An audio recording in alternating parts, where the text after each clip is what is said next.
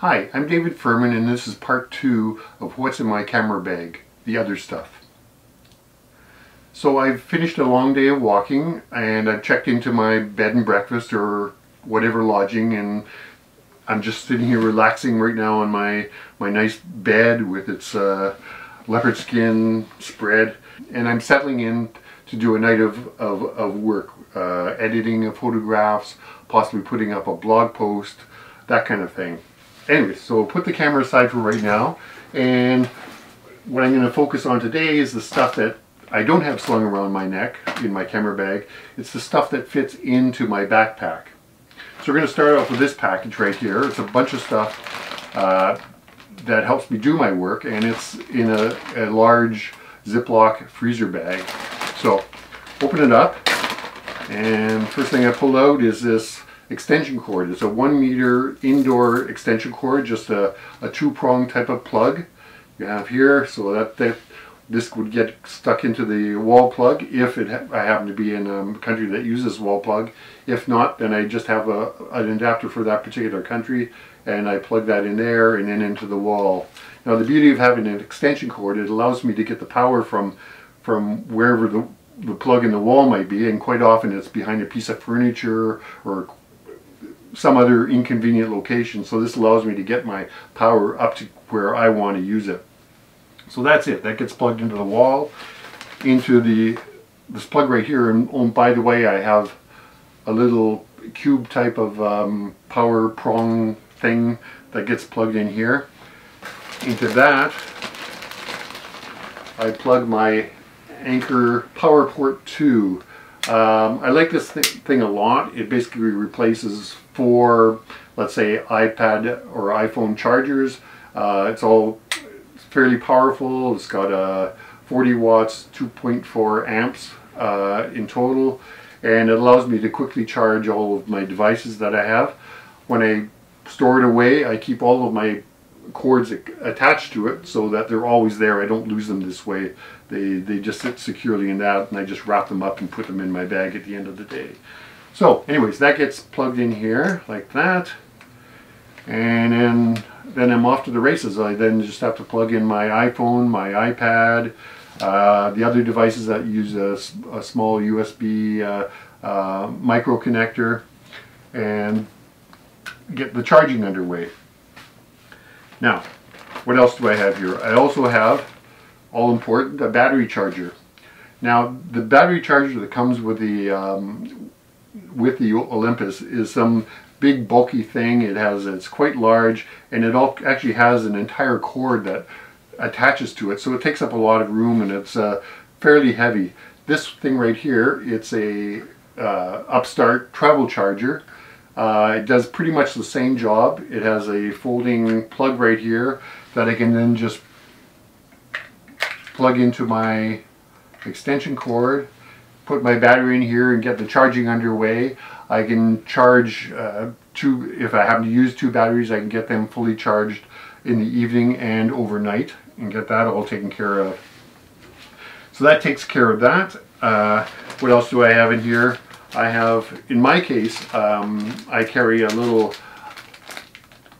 I guess it's a, an additional eye cup, uh, replacement eye cup for, for my Olympus OM-D uh, E-M5 uh, Mark II.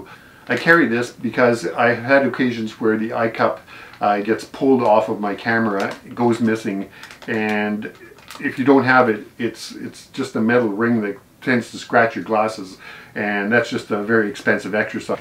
The other important thing that I carry around is my backup equipment. Now the, my backup equipment gets stored inside a, a Loksak uh, case. This is just more or less a, uh, uh, a Ziploc bag on steroids. It's completely waterproofed. It's supposed to be completely waterproof. I've got a double seal here. It's got a heavier grade of plastic as well around it. Inside here, what I have is my backup device and in previous episodes you, you noticed that I've used a verbatim um, a Kingston MobileLite and a verbatim media share device. And this is very similar to that. I've had trouble with those other two lately, so I'm moving on to a third variant of that uh, of that type of device, and that's the RAV Power File Hub. It's a fairly compact unit.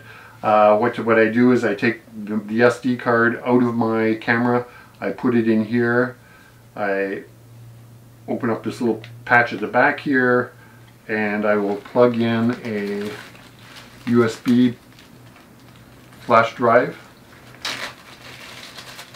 right here. It gets plugged in there. I will connect it to the power using a, the uh, USB plug right here that's connected to my charger. And then this gets turned on. It connects by Wi-Fi to my uh, iPad mini 3 right here and then I use that to control the transfer of, of files from my SD card, not the transfer, but the copying of files from my SD card to the USB flash drive.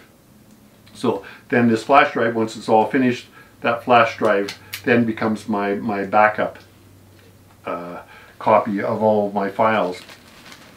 Now, I have two um, sandwich bags here, one for unused uh, flash drives and then I have another envelope in here of the ones that are that are full. So once this gets filled, I put it in here so I don't get them confused and just makes the whole process quite quite quick. The transfer speed is quite quite good on this, so um, I'm still testing it. I'll I expect to have a little report on that soon on the on my blog and probably on YouTube. So just keep an eye out for that in the future. Uh, anyways, that's the main backup device. Uh, I should mention too that while this device and all of the backed up um, files on the USB flash drives get stored inside my my backpack. I do carry the original SD cards that are full and actually the unused ones inside the secret pocket in my Tilley pants. Uh, Tilley pants are the pants that I wear all the time when I'm doing my long distance walks when I'm traveling. They're extremely durable, a little bit uh, a little bit expensive, but they are made in Canada and they last forever. Believe me. Um, I've, for example, been wearing these uh, since at least 2012 uh, when we did the Camino de Santiago, and probably before that, and they're just like new. Anyway, so the cards themselves. Um, first of all, I have a, a Coghlan wallet here. It's meant for um, keeping documents in, I think, and, and, credit cards, but I use them for my uh, my SD cards. So I got one side of it, and it's got a waterproof seal right here. I got one side where I keep my fresh or unused cards, and then the other side, once the card is full, it goes in this side, into the full side. That's a waterproof thing, but just for a little bit extra security, I just slip it in a, a nice lightweight uh, sandwich bag, Ziploc sandwich bag. And that goes into the secret pocket in my in my Tilley pants right here. Uh, it's not so much secret as it is secure. It sort of fits inside the pocket in a in a special Velcro closed uh, uh, pocket so that somebody can't reach in and pickpocket that uh, whatever's inside that, that secret pocket. What else do I carry in here? I also carry, as a sort of an emergency backup, I have a lightning to SD card reader uh, that would plug into my lightning connector on my iPad mini. And I could use that to back up, or not to back up, to transfer pictures from my uh, SD card to my iPad mini for editing on the iPad mini. The last thing that's in here is this little Nite Ize um, iPad stand. So it just opens up like that. You connect it like that. This little part flips up. And there you have a little stand. Quite handy. Takes up no weight. Takes up no space. So it just makes it nice for late at night after I've done all my editing and what have you. If I want to sit down and just watch a, um, a movie or a, a, TV show on, net, on Netflix. The other thing that's in my backpack, if, as I've shown you already, is my iPad mini. I have a, an older iPad mini 3 and it's in a LifeProof nüüd case. This nüüd case is kind of neat because it uh, it's actually uh, a waterproof and pretty shock resistant case. Um, the beauty of it is, is it doesn't have a plastic sheet over top of the uh, the screen on the iPad. It just sort of seals the edges to create a waterproof barrier. But anyways, I've, I've had this for quite a while and, uh, and uh, I, I kind of like the case. It gives a good grip to it while I'm using it. My iPad mini is a very useful tool in the evening. Uh, it allows me to do all the transfer of pictures from my USB uh, or from my SD cards to my USB flash drives using the FileHub Plus app. It also allows me to transfer pictures from my SD cards to the iPad so that I can edit them on my iPad. Uh, and then on the iPad itself, then I can edit those photographs in Lightroom CC. That's my go-to app that I use um, all the time these days. Uh, and using Pages, I can write a blog post if I happen to need to be doing that. And then also assemble the pictures and any of the text into a blog post using the WordPress app. And once that's done, then upload it from the WordPress app to my Walk Click Make blog post, blog site up on the cloud. So that's pretty much it. The only other thing that I can say is the other thing that I carry here is are these.